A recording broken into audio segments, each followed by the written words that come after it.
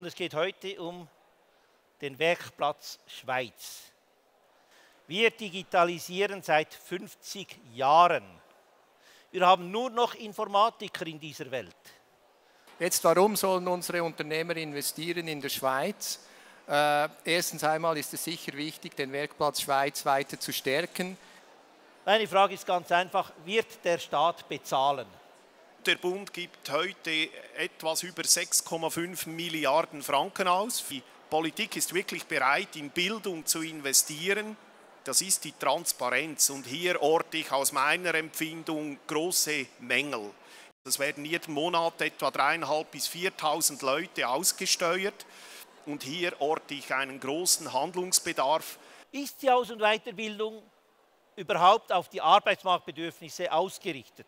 Wir haben hier in der Weiterbildung, dort haben wir einen großen Bedarf an äh, Innovation, an, an äh, Lehrgänge zu erarbeiten, die modular aufgebaut sind, die man zeitlich und finanziell eben auch stemmen kann. Es muss arbeitsmarktorientiert sein und es muss eben so beschaffen sein, dass das einer auch noch machen kann, wenn er 50 ist und höher entspricht die Ausbildung der Ingenieure der Anforderungen vom Werkplatz Schweiz. Wir haben die Lehrlinge oder die Fachleute, die in die Weiterbildung an der Fachhochschule gehen. Auf der anderen Seite haben wir Gymnasi den gymnasialen Weg mit Matura und ETH. Das gibt zwei sehr, sehr gute Profile. Das eine ist ein praktisch orientiertes Profil, das andere ist eher ein theoretisch fundiertes, breites Profil. Findet man in der Schweiz die Unternehmer und die Leute, die gebraucht werden, um die zukünftigen Herausforderungen anzugehen? Finden tut man sie schon. Wo wir in der letzten Zeit etwas Probleme hatten, das war bei mehrsprachigen Ingenieuren. Und zwar tatsächlich FH-Ingenieure, also keine ETH-Ingenieure. Denn in unserem Bereich, gerade bei 50 Mitarbeitern, brauchen wir den Praktiker. Sie sprechen von Transparenz auf dem Arbeitsmarkt. Äh, ist das überhaupt möglich? Und wenn ja, wie sieht das Bern? Was erwarten Sie davon in Bern? Ja, das ist möglich. Es wurden Technologien entwickelt, die schon auch im Einsatz sind, ganz konkret. Das ist eine Aufgabe des Staates, dass die RAFs, die ja primär diese Aufgabe im Auftrag des Staates ausführen, dass die modernere solche Instrumente bekommen. Wir als ähm, Arbeitgeberverband, wir sehen uns natürlich schon auch in der Verantwortung.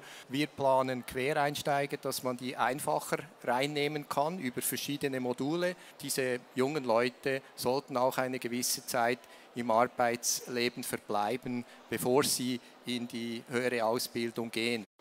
Transparenz ist unheimlich wichtig und äh, wir merken das auch in der Firma, zu wissen, wer kann überhaupt was. Jetzt auf die ganze Schweiz umgesetzt ist das natürlich noch schwieriger. Diese Stiftung hier, die wir vor drei Jahren gegründet haben, übrigens alles privat finanziert, ohne staatliche Gelder, muss man ab und zu sagen.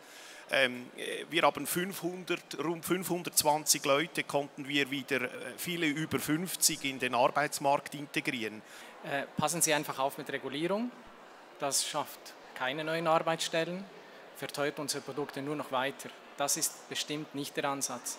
Wir sind überzeugt, dass wir eben mit Erwachsenenbildung, Upskilling, wie das heute so schön auch heißt, modulare Ausbildungsformen, dass wir da Lösungen anbieten können, damit eben die Leute in die Arbeitsprozesse A integriert werden und B im Arbeitsprozess drin bleiben können. Sie haben ja eigentlich die, die mangelnden Grundkompetenzen angesprochen. Wie kommt man an diese Leute heran? Und da haben wir schon Überlegungen gemacht, zum Beispiel mit der Digitalisierung, wo man auch feststellen kann, was wo liegen die äh, Schwächen in den Grundkompetenzen? Da wird auch sehr viel Geld gesprochen. Et maintenant, euh, si on va très bien le marché d'emploi en Suisse, qui favorise notamment où il y a un manque de main-d'œuvre qualifiée dans le secteur industriel, comment, quelles suggestions peut-on euh, recommander aux jeunes euh, diplômés des universités suisses? C'est ça l'idée donc. Also die Frage ist relativ einfach. Ich empfehle Ihnen, gehen Sie arbeiten.